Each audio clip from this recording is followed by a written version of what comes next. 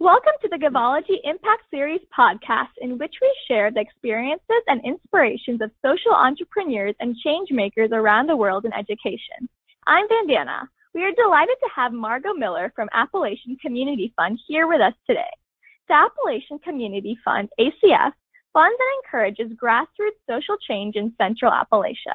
As a community controlled fund, ACF offers leadership to expand and strengthen the movement for social change through its practices and policies. Margo Miller is the Executive Director of Appalachian Community Fund. Miller has served as the Development Director of ACF for the past three years and raised more than $540,000 to support social justice work in Central Appalachia. Miller is a daughter of Appalachia and graduated from the University of Tennessee with a degree in broadcast communications.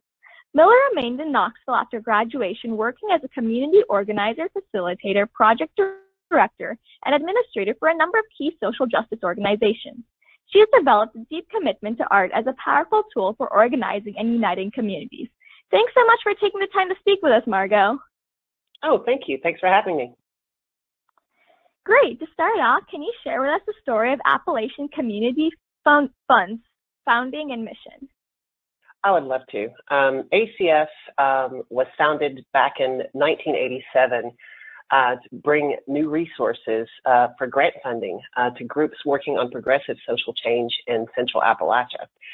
And we we identified that particular area of all the Appalachian counties of East Tennessee, Kentucky, Southwest Virginia, and the entire state of West Virginia and we really want to build up um, we want to be a sustainable resource base for those groups that are working on social change in the region.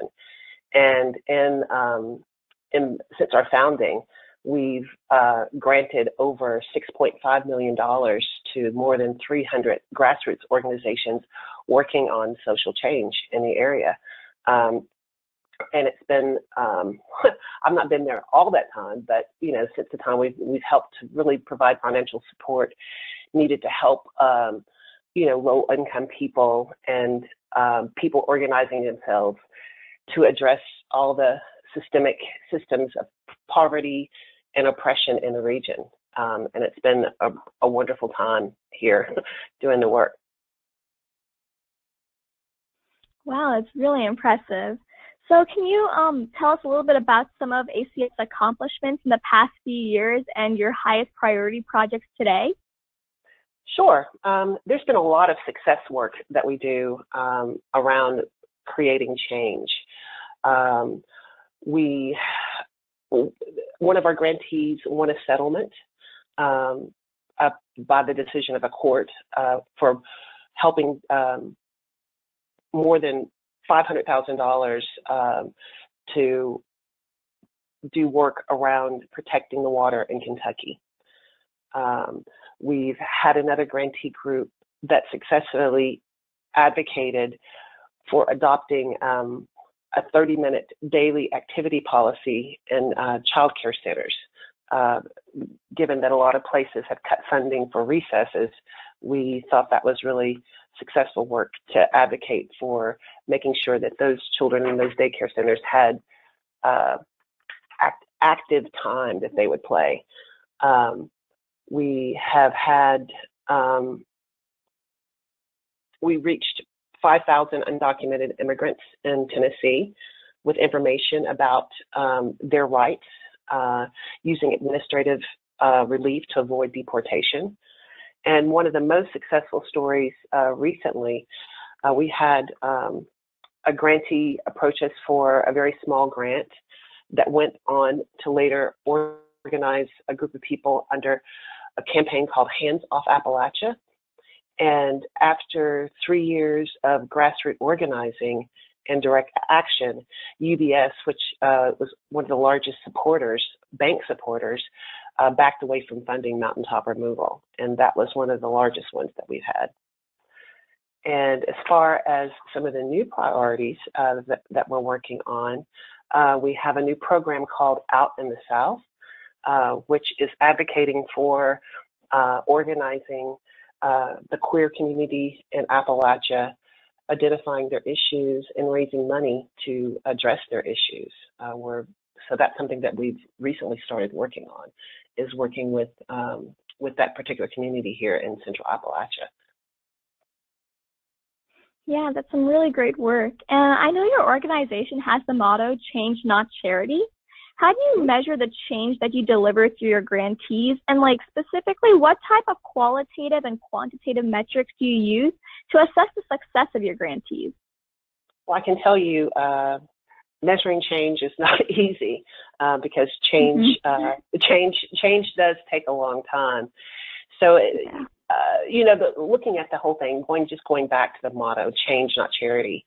The reason that we look at that is because a lot of organizations, particularly foundations, um, you know, give give things to people, and while that's great, uh, looking at our motto, um, you know, while while it's good to be able to teach someone how to fish, uh, we think it's even better to um, well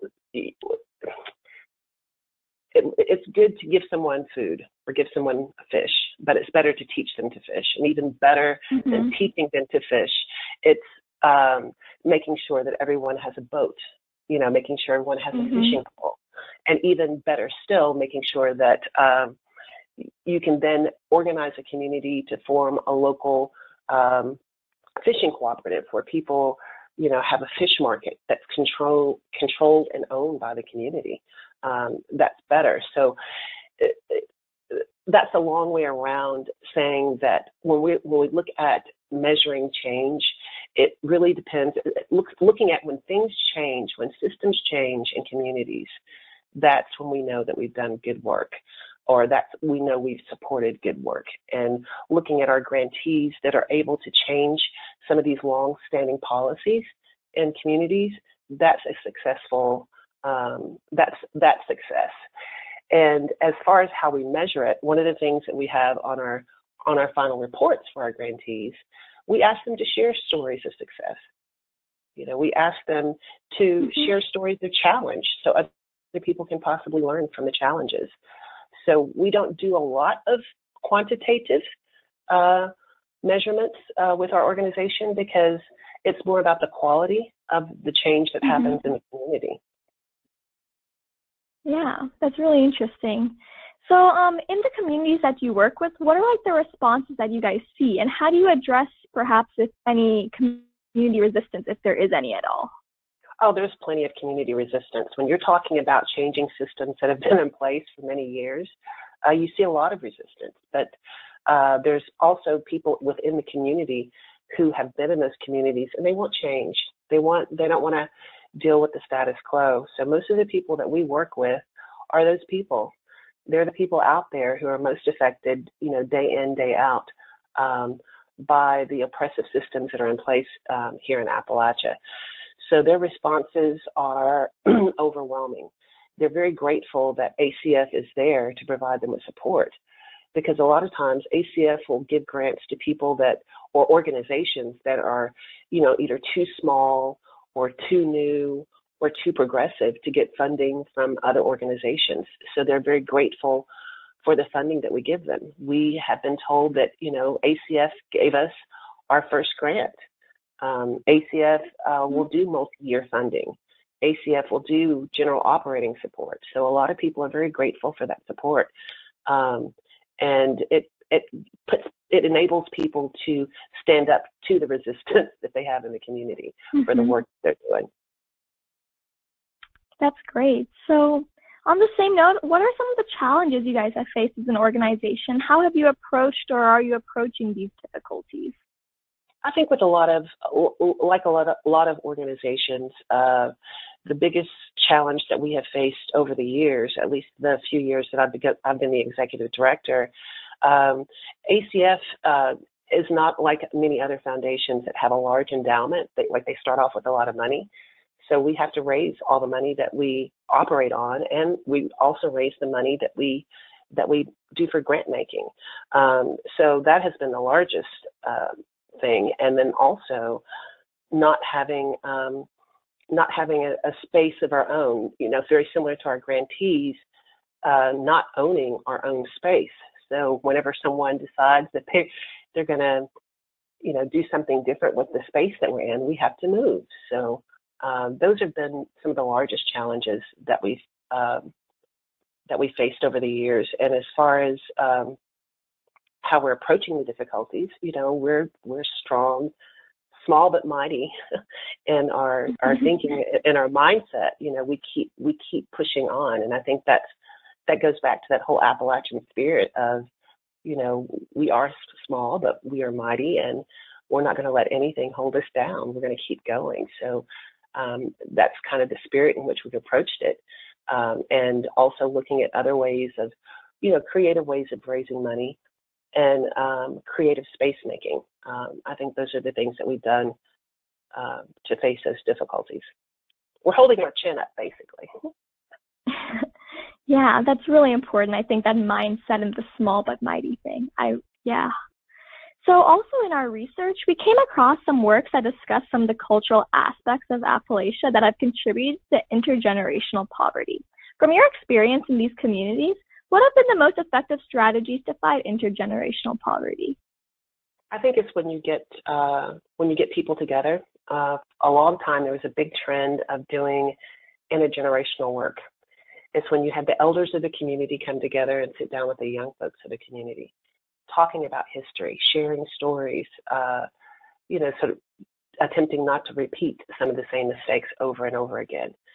Um, there's also a movement um, led by a group of young folk, like I think between the ages of 14 and 30. It's called the Stay Project, and it's a group of young organizers who are committed to developing themselves as the future leaders of Appalachia. They want to stay here. They don't want to do like so many folks have done, you know, once they become of age, there's not a lot of opportunity for them. So a lot of people leave the area. So this group of young leaders, they're working to develop themselves, develop their skills, uh, work with others to create job opportunities for people in the area um, so they can stay and they can be a part of building uh, a more sustainable, uh, transformative Appalachia that's one of the specific things that I've seen. And and I think that that strategy is right. We've got to have places for people to work. We have to have affordable places for people to live. We have to have um, environments and places where people feel it's safe to raise a family. So those are some of the things that people have been doing to uh, make sure that this is a place where people can call home for many, many years. Um, making sure that people can see themselves in Appalachia you know, as um, what I call I'm a proud Black mountain woman. Uh, I'm a I'm an Appalachian uh, woman, and uh, to be able to see myself um, in this culture and to know and own it as myself, that's important to me. And there's a lot of other people that are doing the same thing. There's a a, a group called Blacks in Appalachia that was recently launched to sort of highlight and and tell the stories of, of, of the Black folks that are here. You know, some of the people that have felt like they're missing. Apple Shop does a really good job of telling stories of people that are from here. You know, bringing out the things that make people proud of being able to call this place home. And Appalachian Voices is another uh, publication, online publication, that does a really good job of highlighting and celebrating um, being here in Appalachia. So I think if we continue to celebrate and create opportunities, um, we're going to be okay. We'll overcome all those stereotypes. Yeah, definitely. That's really great to hear about like the notion of seeing oneself and their culture and pride at home and all those yeah, getting people together. Yeah, when you can feel comfortable in a place, um, you know, it really mm-hmm. it really does help. And you know, that's one of the things a lot of people are doing. Um, you know, young folk, uh, working with immigrant populations. Uh, and like I said, the whole thing of working with, you know, the black folks that are here. Uh, it's all very important to be able to see oneself and to celebrate our contribution to the area. And it helps yeah. us want to invest more for the future of Appalachia. Definitely, investing in future leaders is really important, and especially um, in today's fractious political climate, there's a lot misunderstood on the broader Appalachian region. So, what are some of the key misconceptions in the communities and the economy that you guys work with in this region? Um, I guess the misconceptions go, you know, way back. Uh, folks think that people of Appalachia are backward. Uh, they think that we all run around barefooted, uh, and and it, you know that misconception, you know, is extremely harmful because it, it paints a picture of an uneducated, not healthy community, and it's quite different. Uh, we're very, uh, very proud, very you know, strong folks. Um, might not necessarily be such a misconception because a lot of the, the, the items or the things that uh, folks here were able to make a living at no longer exist. Like one time, once upon a time, this was a big coal country where a lot of people, mm-hmm. if it wasn't them, it was someone in their family that worked for a coal company. Well, a lot of those jobs have gone away. I know that even in my family, um, you know, some of the folks worked in mills, you know, whether it was a hosiery mill, uh, um, uh, a knitting mill, a bread factory, a lot of those jobs w- went away. And like in other parts of the of the United States, you know, once those jobs go away, you know, people that have worked for many generations doing those jobs, the jobs go away. What are they going to do? So I, I think it's not so different than the rest of the world. Like you look at Detroit, you know, when the the car industry went away and their economy mm-hmm. tanked. Um, I think it's very similar to what that that happens all over the place. It's just that some of the things that you know people once made money here, it's just a little bit different. You know, it wasn't cars; it was it was a coal mine or the mills. And when those things went away, it, it really left a a dent, uh, a big hole for people. Uh, but people are looking at developing other other economies. There's a big push right now. I, I know in Kentucky, you know, that was once a big um, growing industry.